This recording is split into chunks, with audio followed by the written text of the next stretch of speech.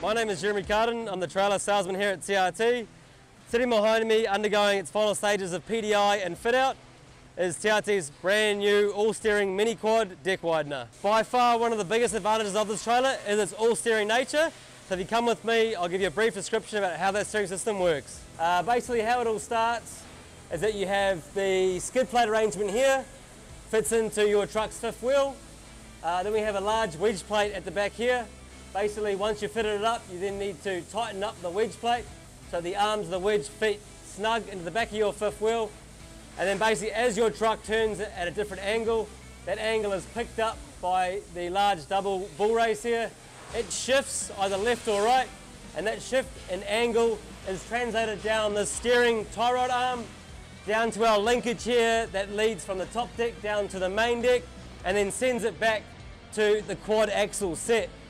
Uh, basically it pivots between axles 1 and 2 with a max steering angle of about 26 degrees at axle 4. These Tridec linkage systems are capable of getting up to about 30 degrees on these quad trailers. However, we limited the steering at about 25, 26 on axle 4, which gets the most steer angle.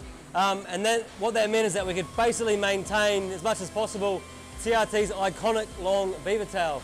It's something that's not really seen that much in the other steering quads um, throughout, the, throughout the industry um, in Australia and New Zealand, but keeping that, that long beaver tail coupled with these 3.3 metre long single fold ramps, it basically gives the operator a better loading angle than if he was using some 4 metre bifolds. This first all-steering mini quad deck widener from TRT is going to our customer Chris Robinson, uh, also owner of Robinson Earth Moving over in Coffs Harbour. Chris Robinson owns around 100 to 115 pieces of Cat and Hitachi construction machinery. And this trailer basically will be used on the bypass over the next two years, delivering plant back and forth from one end to the other. And hence the, the short nature and the all-steering abilities of this trailer will really come in handy for him and his team. This is the fifth trailer we've built for Chris Robinson. Uh, with this new build, one of the key safety features that Chris wanted to include uh, was the ramp auto tensioner system. Basically, it operates via a maxi pot mounted into each of the ramps and then via a, a air toggle down here with the idea that the ramp will stay under tension the whole time, whether there's air or no air supplied, um, and then to basically take the tension off the tensioner and release them to lower your ramps. You basically just flick the air toggle switch mounted on each of the ramps. Uh, the Mini Quad is very versatile. It has an ATM of 51 uh, tonne and a group, uh, group mass rating of 36, um, so that can easily get up to that sort of that 35 tonne uh, single piece loads, and it can also do divisible loading um, right back to that, so that, that 19 metre mark. Um, she's been mounted with 10 ship locks flush mounted into the deck, so she can take one 40 footer, two 20s, or a heavy mid 20. With a confirmed tare weight of 14.5 tonne and an ATM of 51 and a group axle mass of 36. This trailer will easily accommodate your 30 to 35 tonne class single piece machines and she can do up to 27 tonne with divisible loading. To make full use of the trailer's top deck, TRT has fitted some high tensile uh, top deck access ramps. They are basically mounted underneath the top deck here and accessed via these little drop down hatches at the back. Um, once pulled out, the two metre long ramps can be fitted to any width along the top deck here and your utes and small machines can easily get up and sit up there where they're out of the way and you can load right through. Like a lot of our trailers that are bound for Australia, this one's been fitted with our heavy duty 12mm conveyor belt rubber. Uh, what we try and do with this is we try and leave the last uh, sort of three to three and a half metres of the rubber unrestrained. That gives track machinery the ability to get up over the beaver tail apex, slap down and then adjust their tracks to centre before driving forward and because unrestrained it doesn't tear off and make a big mess. It lasts a test of time. We also go ahead and fit these specially pressed heavy duty stainless steel cup washers along with a full stainless bolt kit. Just like all of our other TRT quad deck wideners, this trailer is no exception. It has been fitted with our double acting hydraulic suspension.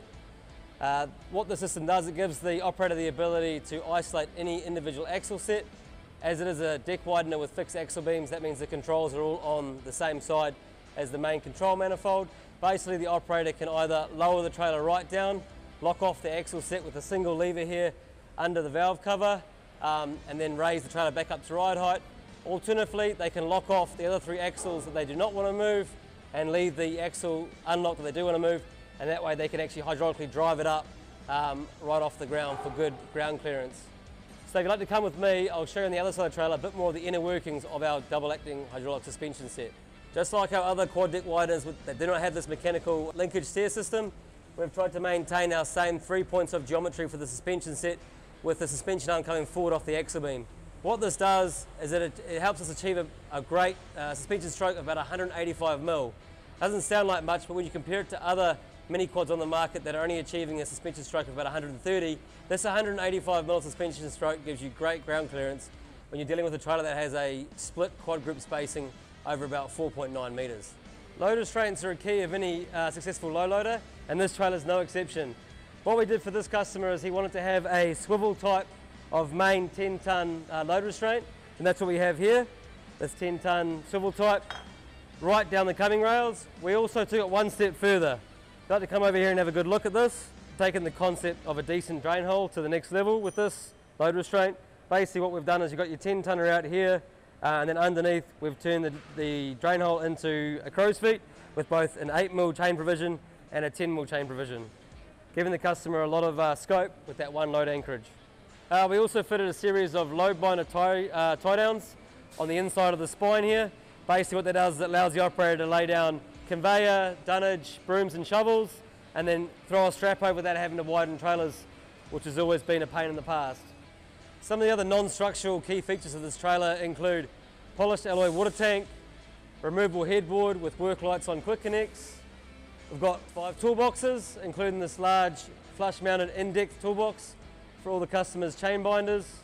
Uh, we've got electronic lift and lower legs, We've got Michelin tyres throughout the trailer and we've got chrome polished alloy rims along with alloy rims on the inner. This removable container pedestal mount serves a few purposes on top of the all-steering mini quad. The first one is to support the rear of a front-loaded 20-foot unit or to support the rear of a 40-foot container. Um, and lastly, it's also been designed to help support uh, lattice boom sections of crawler cranes that are often used on the Coff City bypass. To add to the versatility of the trailer, TRT has built the customer some um, additional plug-in light boards. These are designed to fit into slots up on the tips of the ramp so that when the customer lays the ramps flat for some awkward machines with booms that go out the back, um, he can then drop these in, uh, lock them in place, plug them into light sockets up on the ramps um, and then be road legal. So a huge thank you to Chris, Tyralee and the whole team at Robinson Heavy Haulage. Thank you very much for letting TRT once again make it possible for you. So if you want to take your transport to the next level with a TRT all-steering mini quad deck widener, call us today.